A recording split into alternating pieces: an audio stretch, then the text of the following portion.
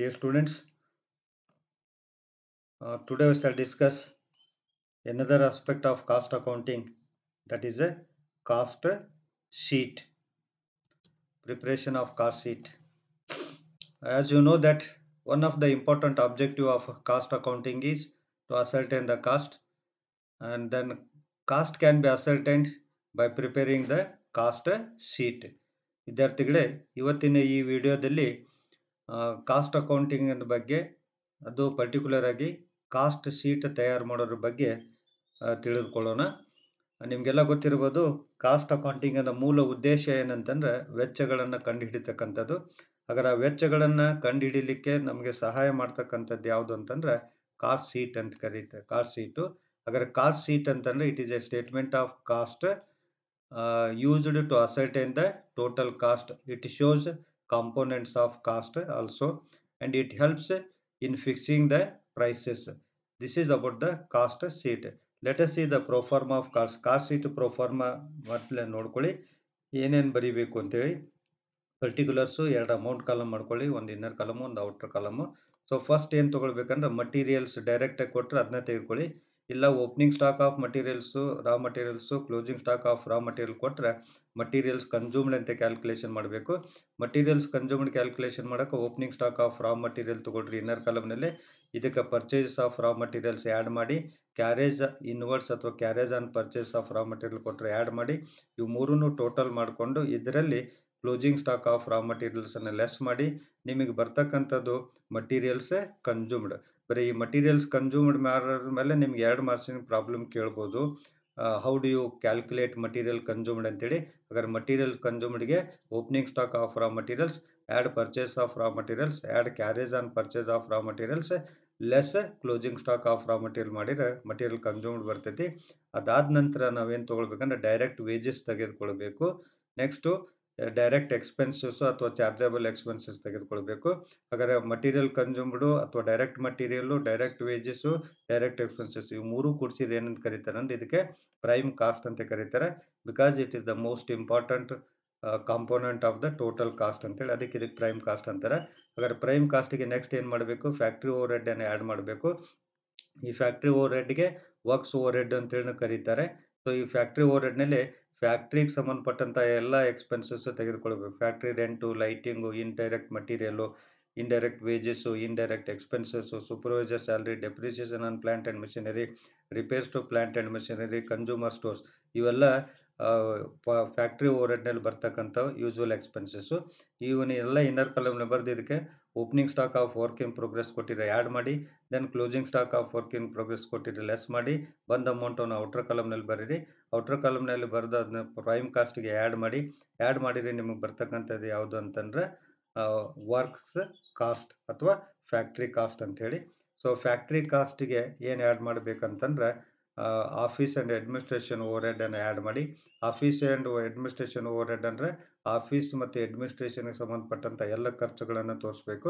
ಇದರಲ್ಲಿ office rent office lighting salary general expenses depreciation ಆನಂತರ depreciation on furniture depreciation on office premises postage and telegram ಇವೆಲ್ಲ ಆಫೀಸಿಗೆ ಸಂಬಂಧಪಟ್ಟಿದ್ದು. Counting house salary ಅಂತೇಳಿ ಬರ್ತೈತಿ. These are all office and administration overhead ಇವನ್ನೆಲ್ಲ inner ಕಾಲಮ್ನೇ ಬರೆದು ಔಟರ್ ಕಾಲಮ್ನೇ ಟೋಟಲ್ ಬರೀರಿ. ಸೊ ಹಾಗಾದ್ರೆ ವರ್ಕ್ಸ್ ಕಾಸ್ಟ್ಗೆ ಇದು. ಆಫೀಸ್ ಆ್ಯಂಡ್ ಅಡ್ಮಿನಿಸ್ಟ್ರೇಷನ್ ಓವರ್ ಅನ್ನು ಆ್ಯಡ್ ಮಾಡಿ you will get the cost of production ಹಾಗಾದ್ರೆ ಕಾಸ್ಟ್ ಆಫ್ ಪ್ರೊಡಕ್ಷನ್ಗೆ ಒಂದೆಡೆ opening stock of finished goods ಕೊಟ್ಟಿದ್ರೆ ಆ್ಯಡ್ ಮಾಡಿ then closing stock of finished goods ಕೊಟ್ಟಿದ್ರೆ ಲೆಸ್ ಮಾಡಿ. ಇವನ್ನೆಲ್ಲ ಕೊಡಲಿಲ್ಲಪ್ಪ ಅಂತಂದ್ರೆ ಲೆಸ್ ಏನು ಮಾಡೋದು ಬೇಡ ಆ್ಯಡ್ ಮಾಡೋದು ಬೇಡ. ಸೊ ನೀವು opening stock of finished goods add ಮಾಡಿ closing stock of finish goods less ಮಾಡಿದ ಮೇಲೆ ಬರ್ತಕ್ಕಂಥದ್ದು ಕಾಸ್ಟ್ ಆಫ್ ಗೂಡ್ಸ್ ಸೋಲ್ಡ್ ಅಂತೇಳಿ. ಹಾಗಾದ್ರೆ ಈ ಕಾಸ್ಟ್ ಆಫ್ ಗೂಡ್ಸ್ ಸೋಲ್ಡ್ಗೆ ಸೆಲ್ಲಿಂಗ್ ಆ್ಯಂಡ್ ಡಿಸ್ಟ್ರಿಬ್ಯೂಷನ್ ಓವರ್ ಅನ್ನು ಆ್ಯಡ್ ಮಾಡಿ selling and distribution overhead ಅಂದರೆ ಮಾರಾಟ ಮತ್ತು ವಿತರಣೆ ಮಾಡಲಿಕ್ಕೆ ವ್ಯಯ ಮಾಡಿದಂಥ ಖರ್ಚುಗಳು. ಅದರಲ್ಲಿ ಅಡ್ವರ್ಟೈಸ್ಮೆಂಟ್ ಬರುತ್ತೆ ಕ್ಯಾರೇಜ್ ಔಟ್ವರ್ಡ್ ಬರುತ್ತೆ ಫ್ರೀ ಸ್ಯಾಂಪಲ್ಸ್ ಬರುತ್ತೆ ಬ್ಯಾಂಡೆಡ್ಸ್ ಬರ್ತದೆ ಬರ್ತೈತೆ ಶೋರೂಮ್ ಎಕ್ಸ್ಪೆನ್ಸಸ್ ಬರ್ತೈತಿ these are all selling and distribution expenses ಇವನ್ನ ಆ್ಯಡ್ ಮಾಡಿ ದೆನ್ ಆ್ಯಡ್ ಮಾಡಿದ, ಎದಕ್ಕೆ ಆ್ಯಡ್ ಮಾಡಬೇಕು? ಕಾಸ್ಟ್ ಆಫ್ ಗೂಡ್ಸ್ ಸೋಲ್ಡ್ಗೆ ಆ್ಯಡ್ ಮಾಡಿ. ಕಾಸ್ಟ್ ಆಫ್ ಗೂಡ್ಸ್ ಸೋಲ್ಡ್ಗೆ ಆ್ಯಡ್ ಮಾಡಿದ ಮೇಲೆ ಕಾಸ್ಟ್ ಆಫ್ ಸೇಲ್ಸ್ ಬರ್ತೈತೆ ನಿಮಗೆ. ಕಾಸ್ಟ್ ಆಫ್ ಸೇಲ್ಸ್ ಆದಮೇಲೆ ಒಂದು ಲೈನ್ ಬಿಡಿ ಒಂದು ಲೈನ್ ಬಿಟ್ಟು ಸೇಲ್ಸ್ ಕೊಟ್ಟಿರ್ತಾರೆ ಸೇಲ್ಸ್ ಬರೀರಿ. ಸೇಲ್ಸು ಮತ್ತು ಕಾಸ್ಟ್ ಆಫ್ ಗೂಡ್ಸ್ ಸೋಲ್ಡ್ ಐತೆ ಕಾಸ್ಟ್ ಆಫ್ ಸೇಲ್ಸ್ ಐತಲ್ಲ, ಇದ್ರ ಡಿಫ್ರೆನ್ಸನ್ನು ಏನಂತ ಟ್ರೀಟ್ ಮಾಡಬೇಕು? ಪ್ರಾಫಿಟ್ ಅಂತೇಳಿ ಟ್ರೀಟ್ ಮಾಡ್ಕೊಳ್ಬೇಕು. ಸೊ ಇದು ಕಾಸ್ಟ್ ಸೀಟಿನ ಪ್ರೊಫಾರ್ಮ ಇದೇ ಪ್ರೊಫಾರ್ಮ ಪ್ರಕಾರ ನೀವು ಐಟಮ್ಸನ್ನು ಅಥವಾ ಅಮೌಂಟನ್ನು ತುಂಬ್ಕೊತ ಹೋಗಬೇಕು. ಸೊ ಇಲ್ಲಿ ಪ್ರಾಬ್ಲಮ್ ಇದೆ ನೋಡ್ರಿ. From the following information, prepare a cost sheet showing prime cost, works cost, cost of production, cost of sales and profit.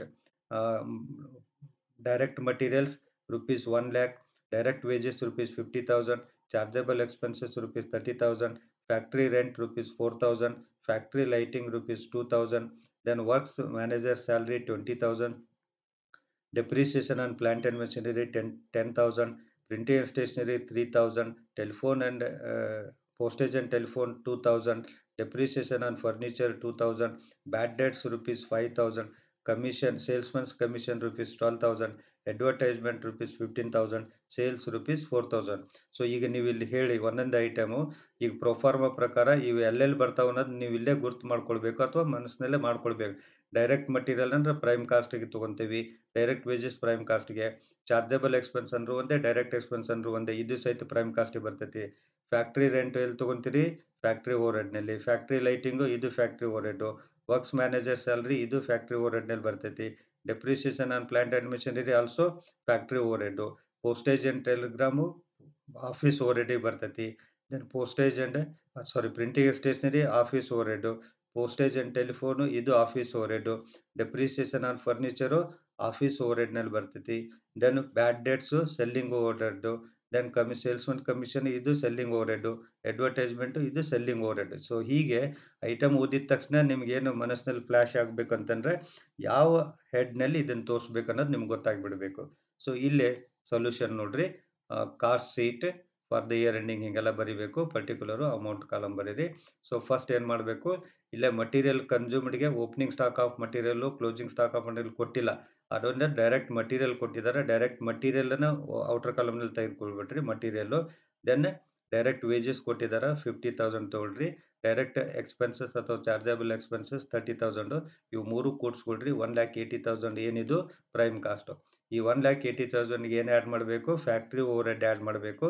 Factory ಓವರ್ಹೆಡ್ನಲ್ಲಿ factory rent four thousand factory lighting two thousand works manager salary twenty thousand then depreciation on plant and machinery ten thousand ಇವು ನಾಲ್ಕು item ಇಲ್ಲಿ ಬರ್ತವೆ. So ಇವನ್ನ total ಮಾಡ್ಕೊಳ್ಳಿ thirty six thousand one lakh eighty ತೌಸಂಡ್ಗೆ thirty six thousand factory over add ಮಾಡಿ two lakh sixty thousand add add ಮಾಡ್ಕೊಳ್ಳಿ one lakh eighty ತೌಸಂಡ್ಗೆ ಈ ತರ್ಟಿ ಸಿಕ್ಸ್ ತೌಸಂಡನ್ನು ಆ್ಯಡ್ ಮಾಡ್ಕೊಳ್ಳಿ. One lakh sorry two lakh sixteen thousand ಆಗಬೇಕಿದ್ದು two lakh sixty thousand ಆಗಿದೆ, ತಪ್ಪಾಗಿದೆ. Two lakh sixteen thousand ಮಾಡ್ಕೊಳ್ಳಿ. Then two lakh sixteen thousand ಆದಮೇಲೆ ಇದಕ್ಕೇನೆ ಟೂ ಲ್ಯಾಕ್ ಸಿಕ್ಸ್ಟೀನ್ ತೌಸಂಡ್ ಏನಿದು? Factory overhead two lakh sixteen thousand one six ಮಾಡ್ಕೊಳ್ಳಿ, ತಪ್ಪಾಗಿದೆ. ವರ್ಕ್ಸ್ ಓವರ್ ಹೆಡ್ ಆಯಿತು works cost ಆಯಿತು. ವರ್ಕ್ಸ್ ಕಾಸ್ಟಿಗೆ ಏನು ಆ್ಯಡ್ ಮಾಡಬೇಕು? Office and administration overhead add ಮಾಡಿ office and administration over problem ಕೊಟ್ಟಿದ್ರಲ್ಲಿ ನಾನು ಈಗಾಗಲೇ ಹೇಳಿದ್ದೀನಿ. Printing and stationery three thousand ತೆಗೆದುಕೊಳ್ಳಿ postage and telephone two thousand ತೆಗೆದುಕೊಳ್ಳಿ ಡೆಪ್ರಿಸಿಯೇಷನ್ ಆ್ಯಂಡ್ ಫರ್ನಿಚರ್ ತೊಗೊಳ್ಳಿ ಸಿಕ್ಸ್ ತೌಸಂಡು ಇವು ಮೂರು ಕೂಡಿಸಿದ್ರೆ ಎಷ್ಟಾಗ್ತೈತಿ? ಹನ್ನೊಂದು ಸಾವಿರ ಆಗ್ತೈತಿ. ಸೊ ಹನ್ನೊಂದು ಸಾವಿರನ ಎರಡು ಲಕ್ಷದ ಹದಿನಾರು ಸಾವಿರ ವರ್ಕ್ಸ್ ಕಾಸ್ಟಿಗೆ ಆ್ಯಡ್ ಮಾಡಿ, ನಿಮ್ಗೆ ಏನು ಬರ್ತದೆ ಅಂದರೆ two lakh twenty seven thousand cost of production ಬರ್ತೈತಿ ಸೊ ಕಾಸ್ಟ್ ಆಫ್ ಪ್ರೊಡಕ್ಷನ್ಗೆ ನಾನು ಈಗಾಗಲೇ ಹೇಳ್ದಂಗೆ ಪ್ರೊಫಾರ್ಮ ಪ್ರಕಾರ ಏನು ಆ್ಯಡ್ ಮಾಡಿದ್ವಿ? Add opening stock of finished goods less closing stock of finished goods ಮಾಡಿದ್ವಿ ಬಟ್ ಅವೆರಡು ಇಲ್ಲ. ಅವೆರಡು ಇಲ್ಲಪ್ಪ ಅನ್ನತ್ಲೆ ಡೈರೆಕ್ಟಾಗಿ ನೀವೇನು ಮಾಡಿಬಿಡ್ರಿ? ಸೆಲ್ಲಿಂಗ್ ಆ್ಯಂಡ್ ಡಿಸ್ಟ್ರಿಬ್ಯೂಷನ್ ಓವರ್ ಹೆಡ್ಗೆ ಹೋಗ್ಬಿಡಿ. ಸೆಲ್ಲಿಂಗ್ ಆ್ಯಂಡ್ ಡಿಸ್ಟ್ರಿಬ್ಯೂಷನ್ ಓವರ್ ಹೆಡ್ನಲ್ಲಿ ಬರ್ತಕ್ಕಂಥವು ಈ ಪ್ರಾಬ್ಲಮ್ನಲ್ಲಿ ಬ್ಯಾಡ್ ಡೇಟ್ಸ್ ಇದೆ ಫೈವ್ ತೌಸಂಡು ಸೇಲ್ಸ್ಮನ್ಸ್ ಕಮಿಷನ್ ಇದೆ ಟ್ವೆಲ್ ತೌಸಂಡು ಅಡ್ವರ್ಟೈಸ್ಮೆಂಟ್ ಇದೆ ಫಿಫ್ಟೀನ್ ತೌಸಂಡು ಇವು ಮೂರು ಕೂಡ್ಸ್ಕೊಂಡ್ಬಿಡ್ರಿ ತರ್ಟಿ ಟೂ ತೌಸಂಡ್ ಆಗುತ್ತೆ. ಸೊ ತರ್ಟಿ ಟೂ ತೌಸಂಡನ್ನು selling over ಹೆಡ್ಡನ್ನು cost of production two lakh twenty seven ತೌಸಂಡ್ಗೆ add ಮಾಡಿ two lakh fifty nine thousand ಬರ್ತೈತಿ. Two lakh fifty nine thousand cost of sales cost of sales ಮೇಲೆ one one line ಬಿಡಿ. Cost of sales ಬರೆದ ಮೇಲೆ ಒಂದು ಅಥವಾ ಎರಡು line ಬಿಡಿ. ಬರ್ದು ಅದಾದಮೇಲೆ ಸೇಲ್ಸ್ ಕೊಟ್ಟಿದ್ದಾರೆ ಪ್ರಾಬ್ಲಮ್ನಲ್ಲಿ ಸೇಲ್ಸ್ ಬರೆದು ಬಿಡ್ರಿ ಫೋರ್ ಲ್ಯಾಕು ಹಾಗಾದ್ರೆ ಫೋರ್ ಲ್ಯಾಕ್ನಲ್ಲಿ ಟೂ ಲ್ಯಾಕ್ ಫಿಫ್ಟಿ ನೈನ್ ತೌಸಂಡನ್ನು ಲೆಸ್ ಮಾಡ್ಕೊಳ್ಳಿ. ರಿಮೈನಿಂಗ್ ಅಮೌಂಟು ಪ್ರಾಫಿಟ್ಟು ಇದು ಬ್ಯಾಲೆನ್ಸಿಂಗ್ ಫಿಗರ್ ಅಂತ ಬರೀರಿ. One lakh forty one thousand so ಹೀಗೆ ಕಾರ್ ಶೀಟನ್ನು ಪ್ರಿಪೇರ್ ಮಾಡಬೇಕು. ಈ ಕಾರ್ ಶೀಟ್ ಪ್ರಿಪೇರ್ ಮಾಡೋಕೆ ಭಾಳ ಬುದ್ಧಿವಂತಿಕೆ ಬೇಕಾಗಿಲ್ಲ, ಕ್ಯಾಲ್ಕುಲೇಟ್ರ್ ಬೇಕಾಗಿಲ್ಲ, ಏನು ಕ್ಯಾಲ್ಕುಲೇಷನ್ಸು ಇಲ್ಲ, ಇಲ್ಲೇ ಪರ್ಸೆಂಟೇಜ್ ಇಲ್ಲ, ಯಾವುದೂ ಇಲ್ಲ. ನೀವೇನು ಮಾಡಬೇಕಂದ್ರೆ ಪ್ರೊಫಾರ್ಮ ಪರ್ಫೆಕ್ಟ್ ಮಾಡ್ಕೊಳ್ಳಿ. ಅವು ಯಾವ ಹೆಡ್ಡಿಂಗ್ನಲ್ಲಿ ಯಾವ್ದು ಬರ್ತೈತೆ ಅಂತ? ಫ್ಯಾಕ್ಟ್ರಿ ಓವರ್ ಹೆಡ್ನಲ್ಲಿ ಏನೇನು ಬರ್ತಾವೆ ಅನ್ನೋದು ಗೊತ್ತಾಗಬೇಕು. ಆಫೀಸ್ ಆ್ಯಂಡ್ ಅಡ್ಮಿನಿಸ್ಟ್ರೇಷನ್ ಓವರ್ ಹೆಡ್ನಲ್ಲಿ ಯಾವ ಬರ್ತಾವೆ ಅಂತ ತೊಳು ನೋಡಬೇಕು. ಸೆಲ್ಲಿಂಗ್ ಆ್ಯಂಡ್ ಡಿಸ್ಟ್ರಿಬ್ಯೂಷನ್ ಓವರ್ ಹೆಡ್ನಲ್ಲಿ ಯಾವ ಬರ್ತಾವೆ ಅನ್ನೋದು ತಿಳ್ಕೊಂಡ್ಬಿಟ್ರೆ ನೀವು ಈಸಿಯಾಗಿ ಕಾರ್ ಶೀಟನ್ನು ತಯಾರು ಮಾಡ್ಬೋದು. ಹದಿನೈದು ಮಾರ್ಕ್ಸಿಗೆ ಕಾರ್ ಶೀಟ್ ಮೇಲೆ ಪ್ರಾಬ್ಲಮ್ಸು ಕೇಳ್ತಾರೆ.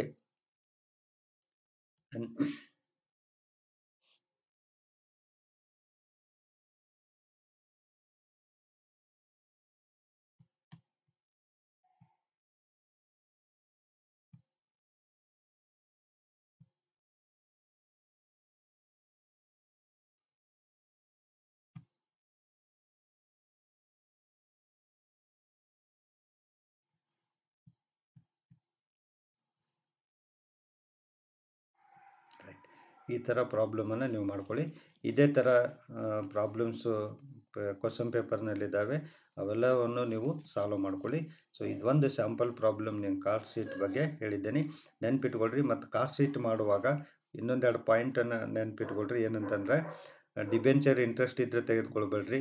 ಗುಡ್ ವಿಲ್ ರಿಟರ್ನ್ ಆಫ್ ಇದ್ದರೆ ತೆಗೆದುಕೊಳ್ಬೇಡ್ರಿ ಆನಂತರ ಡ್ಯಾ ಇದು ಪ್ರಿಲಿಮಿನರಿ ಎಕ್ಸ್ಪೆನ್ಸಸ್ ರಿಟರ್ನ್ ಆಫ್ ಇದ್ದರೆ ತೆಗೆದುಕೊಳ್ಬೇಡ್ರಿ. ಅವೆಲ್ಲ ಏನಂತಂದ್ರೆ ಫೈನಾನ್ಷಿಯಲ್ ಚಾರ್ಜಸ್ ಆಗ್ತವೆ. ಸೊ ಆ ಫೈನಾನ್ಷಿಯಲ್ ಚಾರ್ಜಸನ್ನು ಬಿಟ್ಟು ಬಾಕಿ ಏನು ಹೇಳಿದೆಲ್ಲ, ಇವೆಲ್ಲ ಐಟಮ್ಸನ್ನು ನೀವು ತಗೊಳ್ಬೇಕು ಅಂತ ಹೇಳ್ತಾ ಇವತ್ತಿನ ಈ ವಿಡಿಯೋನ ಮುಗಿಸ್ತಾ ಇದ್ದೇನೆ. ಮತ್ತೊಂದು ವಿಡಿಯೋದೊಂದಿಗೆ ನಿಮ್ಮನ್ನು ಭೇಟಿ ಆಗ್ತೇನೆ ಟಿಲ್ ದೆನ್ ಗುಡ್ ಬೈ